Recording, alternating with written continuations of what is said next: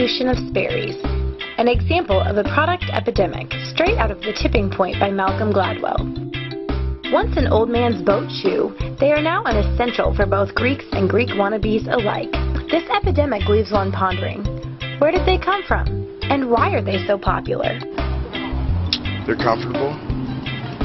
Yeah, that's about it. They can get wet. You don't really care if they get dirty or anything.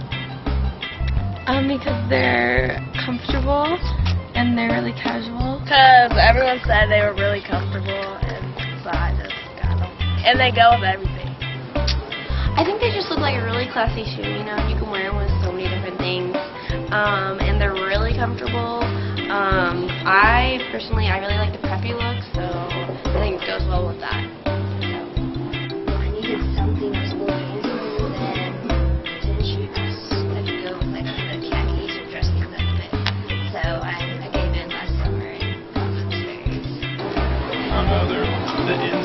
Thing to wear for fraternities and sororities. So. So I guess East Coast kind of fashion brought it here. I think everyone with their like votes, so they wear them on just like transition to wearing them on campus. Actually, it goes well with nice clothing. So. The original Sperry topsiders were designed in 1935 by Paul Sperry. They were the first boat shoes to be introduced into the boating market and originally sold for $4.50 a pair, with the option of a peg leg discount. The patterns of grooves on the bottom make them ideal for traction on wet and slippery surfaces. The technology was inspired by none other than Paul's Cocker Spaniel Prince. Sperry's first big break occurred in the 1940s. This era saw the largest increase in sales for Sperry topsiders, for the brand had a contract to supply shoes to the U.S. Navy. By the end of 1941, demand for their product had increased dramatically with the start of World War II. The iconic boat shoe hit the forefront of the fashion world in the early 1980s after gaining recognition in the official Preppy Handbook and countless John Hughes films. But by the end of the decade, the New England-based show had fallen out of style. The president of the Lexington-based Sperry Company quoted, It was clearly a declining brand. That was when they were cheapening the product. They were using a lesser grade of leather, and you just can't do that. Making matters worse was the fact that no one knew how to market the shoe in the 1990s. Today, Sperry's are owned by Collective Brands Incorporated and are a part of the Performance and Lifestyle Group. As of February 2012, they use the advertising slogan, A Passion for the Sea. It is apparent living in Kansas that we are nowhere near the sea. So why does everyone love Sperry's?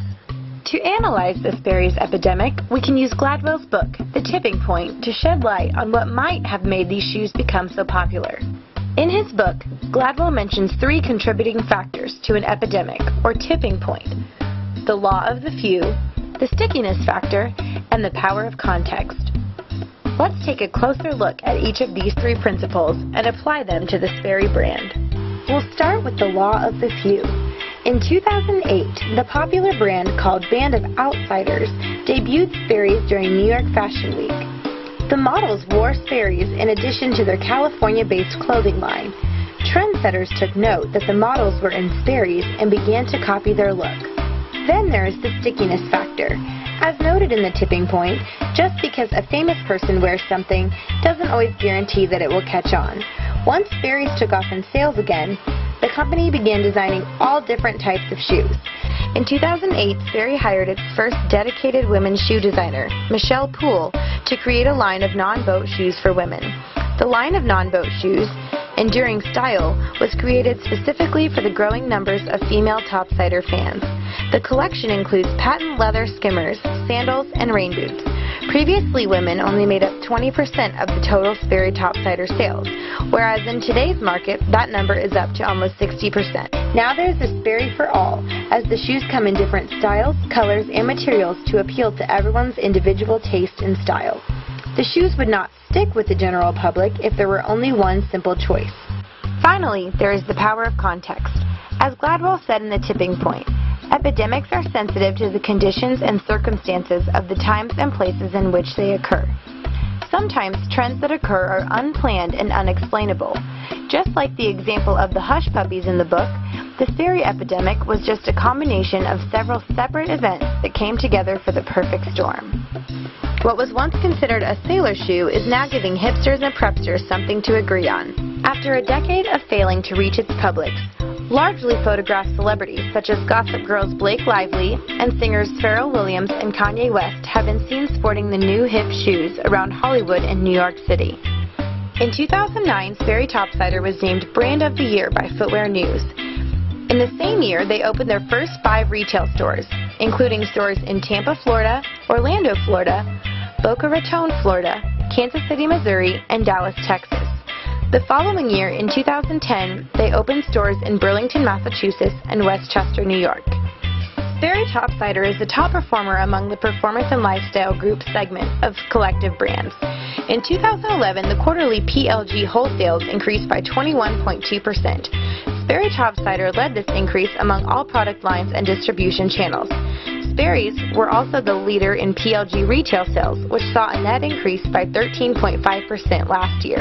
Currently, Sperry Topsider sponsors sailing competitions in locations such as Key West, Seattle, Detroit, San Francisco, and New York. The company is also the proud partner and official footwear sponsor of the U.S. sailing team AlphaGraphics. Sperry Topsider has also made efforts to be a proactive member of society through their dedication and love of the sea. Sperry Topsider is the corporate sponsor of OCEARCH, a nonprofit organization that researches the ocean's giants, and the official footwear of the National Safe Boating Council. Recently, Sperry redesigned their website and introduced social media to connect with their customers. They developed a blog called Passion for the Sea, where Sperry wearers can tell the stories about their adventures in their shoes. According to Google Trends and Google Insights, the search term Sperry saw major increases around 2010. Also, they peaked in news reference volume in 2009 when they were named Brand of the Year, and again in 2010 and 2011 when they celebrated their 75th anniversary. Something made Sperry's tip that was enough for these shoes to re-enter the closets of fashionistas everywhere.